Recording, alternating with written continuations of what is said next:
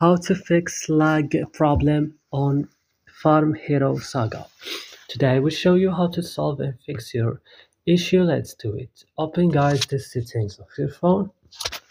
Click on apps option and search for Farm Hero Saga and click. Scroll this list down, click storage option, click clear cache and you should back. Click at force stop and click OK. Go guys to Play Store or App Store, update your game, restart your device and that's it. Don't forget to support us by like. Also subscribe. See you next video.